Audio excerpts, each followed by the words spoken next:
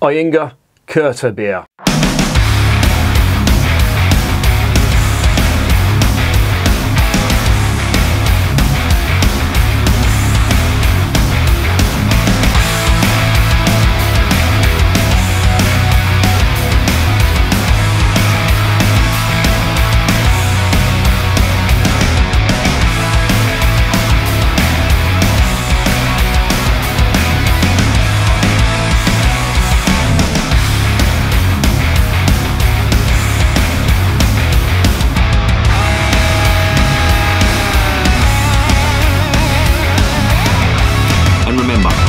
Too short to be drinking shitty beer.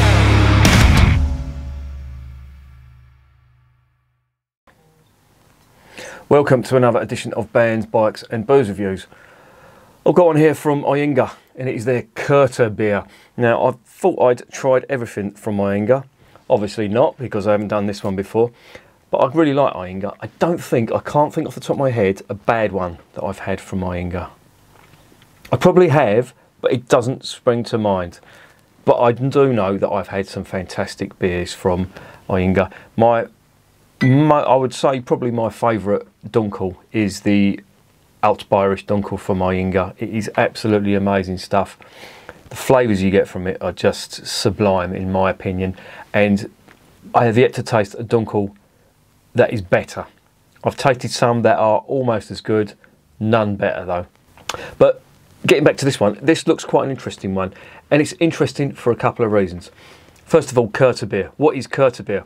Well, Kirta beer is brewed especially as a beer to celebrate the festival, the Kirchweih festival, which is basically a church festival. Kirchweih in German translates literally to parish fair, and it is the celebration of a church. Kirk, of course, in Germanic language means church. And for some strange reason, and I'm sure it's uh, Viking influence, Kirk in Scotland is, is, is quite a common name, and it comes from the. It- it's used for the word church as well. So that's a boring fact that will get you absolutely no money whatsoever. But there you go. I'm full of useless information that is useless useless to everybody. But there you go. And uh, Kirchweih is, as I say, it's a festival, and you know the Germans love to brew beers for festivals, and this is one of them. And it's been described as a cross between a Marzen and a dark export beer, which again is an interesting beer. Now, Marzen, of course, is a festival type beer brewed for the Oktoberfest, or it used to be brewed for the Oktoberfest. And if they're mixing that with a Dunkel, or if it's a cross between that and a Dunkel, I should say, to get it right, they're not mixing it, then that is interesting. But what is also interesting about this, they use a special technique, and that is called double decoction. And double decoction, or to give it its correct term, double decoction mashing, is a technique that is used by some of the southern German brewers and some of the Czech brewers as well. In fact, the original Pilsner, they used double decoction or decoction mashing. You can do single doubles and triples, you can do it as many times as you want, really. And to be honest, I don't really want to go into the science of it, but I'll give you the basics. What it does, it's it's a process that you use when you're doing the boil. What will happen is you will boil the the, the grist that's in the vessel, in the copper vat, if you like, or the the, the mash tun. Um, while it's going through its rest, you will scoop some of the water and the grist out, and you will put that into another vessel, and you will bring it up to the boil. Now, this is quite labour intensive, and that is why it is not common among all German brewers. But this goes for a double decoction, and as I say, you can have a single decoction where you scoop just one segment out, or you can do it twice and you can do it three times. The chemical process is just fucking complicated. I've read up about it, and honestly, I would need flip charts, PowerPoint presentations to explain how the protein breaks down, how the acids break down, etc. But the bottom line is, according to the German brewers and the Czech brewers who do it, it gives the beer more flavour. That is the goal of decoction mashing. If you want to look it up for yourself, be my guest. All I'm going to do is say that they use double decoction mashing in this. So, with that in mind, Ayinger, I've gone through the history of the Ayinger brewery so many times that you can find it on any of my other Ayinger beer reviews. There's loads on the channel. Just look up Ayinger and it should bring up a load of them on there. Um, yeah, so with that in mind, let's get on to the beer.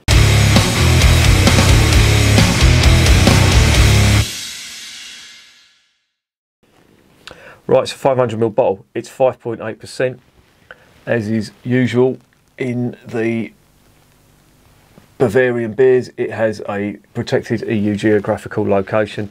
You had the Wittelsbach coat of arms. You must have seen that on all the decent Bavarian beer. Löwenbräu have that. If I can get this in focus, Löwenbräu use this in their logo, as do quite a lot of other German brewers. Bayreuther is another one who springs to mind.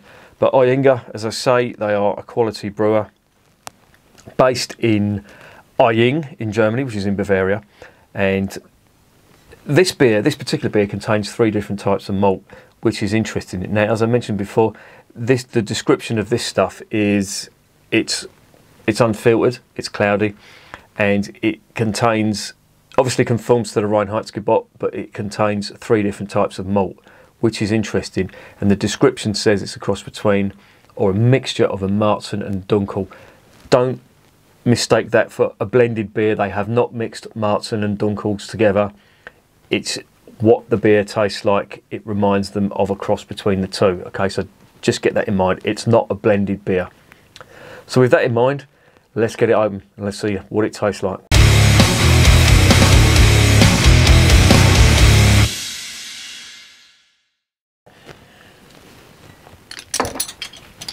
Right now, I always make this point about Ayinger beers. I love their caps. It's like a little oil painting of the brewery. I'm sure you've seen them before if you've ever had an Ayinger beer. Right, let's get it in the glass. I'm not sure what glass is supposed to be used for this, but I'll put it in a tall, thin glass and see what gives. Now that actually does look slightly darker than a Märzen. Yeah, and it is. You, you know, you could. God, I can smell that from here. That smells really good. The malts are super strong on this. What are we getting on the nose? Oh, caramel malt. Lovely, sweet biscuit and caramel. Oh, that smells so good.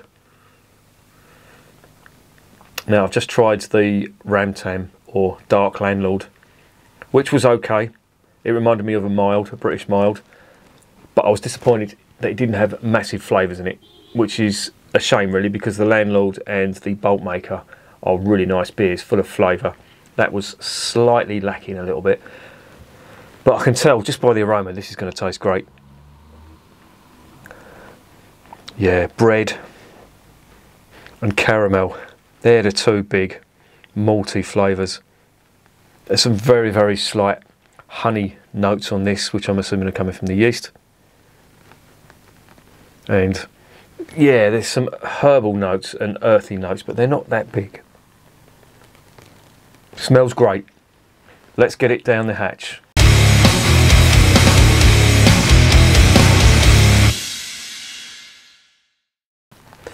Zum Wohl, as they say in Germany.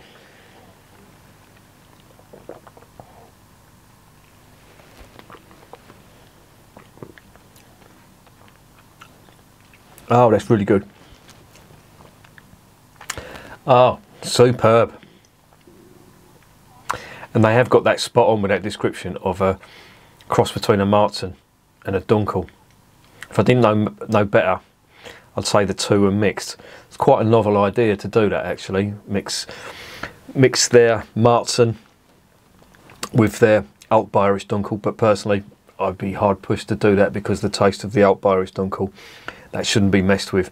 But maybe one day I will do that, create a blended beer, but not today because I've got virtually that here. Fair levels of carbonation, not sure whether you can see that or not. Translates to a nice mouthfeel.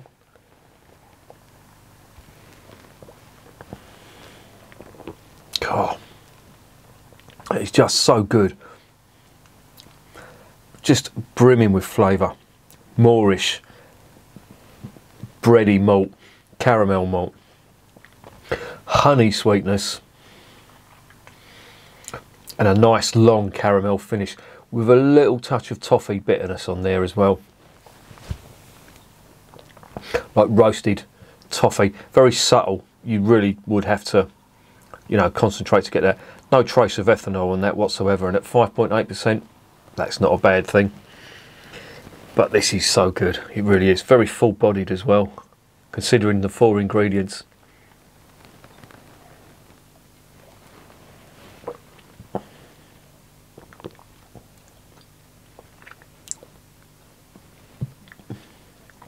Oh, I cannot get enough of that.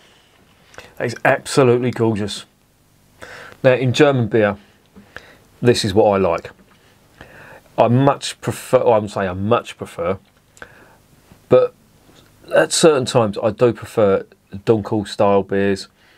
The Märzens are okay from Bavaria. I've had a couple that have been not so good, shall we say, from the smaller uh, the smaller Bavarian brewers, but but this one, oh, it's just so good. Mm.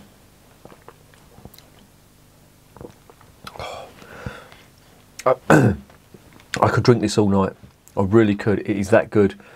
It's got such a Moorish flavour, and it is. It's you know, it's got that. If you can imagine a Märzen, a good Märzen, but just double the caramel malt on it double the bread malt on it and keep the drinkability of a Märzen and pff, you've got that. It's just superb. It really is. And the carbonation on it, it looks quite quite aggressive, but it's not. That that mouthfeel is just superb.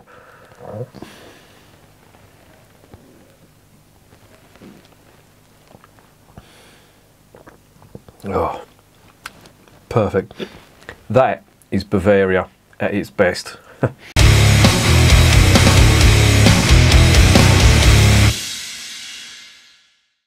so what's the verdict on Kirta beer? Amazing stuff. First time I've ever tried this. This is quite hard to get hold of. This came from Noble Green and I will tell you how much it costs. Now, depending on how soon I put this up on the channel, but Noble Green have got it at the moment, and I do apologise if they run out. But this cost me, fucking hell, £2.33. Unbelievably cheap and worth it.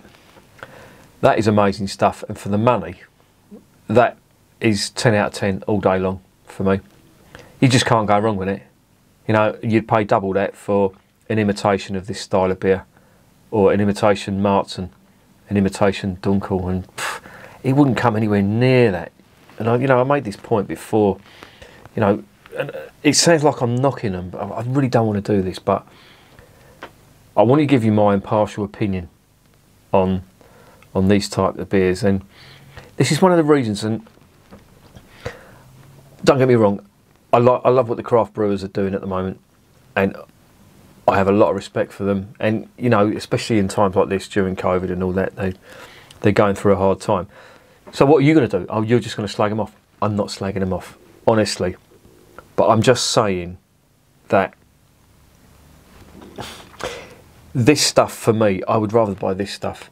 Now I know that craft brewers have the overheads; they cannot buy the bulk ingredients and get the discounts like these other brewers can. In Germany, well, you're spoilt for choice for ingredients. You know, you've got the best of everything there. In the UK, it's more expensive to brew. There's more overheads. I get that, but as a consumer, you know, I'm putting my hand in my pocket, spending my money. I'd love to support craft brewers more, but I just can't afford the beer. I don't see it as value for money. Now, that's a terrible thing to say in some people's eyes, but if you're a working man and you know you've got other priorities, beers for me is a luxury. It is, and yeah, I've got other hobbies as well. But you know, I want to spend my money wisely on beer. That's, that's the whole point of the channel. It's just to well, is to give you my opinion on beers and maybe sort of steer you in the right direction, or you know, just just give you my opinion on what beers taste like. And the whole ethos of craft beer, I think, is brilliant. It's like you know, it's, it's the punk ethos. You know, fuck the big corporations. We're going to do it ourselves, and yeah, that's brilliant. But the end result is more expensive, and you know, when I can buy this for two pound thirty three a bottle, I find it hard to pay double that for an some generic IPA that tastes very similar to you know all the other IPAs that are out there. And I know that sounds like a sweeping statement, but it wouldn't be so bad if they could brew to this quality. But I just don't get that from these craft brewers, and it's a shame, you know. And I'm really, you know, I want to support these craft brewers, and I want to, you know, sing their praises and all that. But I, you know, when I come up against stuff like this, I just, I just find it you know hard to do. Now with Brexit happening and all that, you know the the import stuff, it's probably going to cost more. So it may level the playing field. So you know all these craft brewers who are moaning about Brexit and all that, maybe it's a good thing. Maybe I will have to, you know, weigh up the cost of this German stuff and the Czech stuff, and say, well, I just can't afford it. It's gonna it's gonna be cheaper to buy craft beer. Who knows? I don't know. Who can pre- predict the future? But anyway, I'm going way off topic here But that's that's the philosophy behind you know my thinking when it comes to this stuff and the British brewed craft beer stuff that's imitating these sort of styles, these German styles. No, that's just my opinion. As they say, opinions are like arseholes. Everyone's got one, but you just don't want to hear it sometimes. But there you go. You're going to hear it now. But this stuff is a 10 out of 10. It's definitely recommended if you can get it hold get hold of it. It's under £2.50. It comes from Noble Green. That is probably going to be the best under £2.50, £2.33 that you're ever going to spend on a beer. Believe me, that is lovely. I defy anyone to say they don't like that. If you do, you've got taste in your ass. And remember, beer is working class champagne.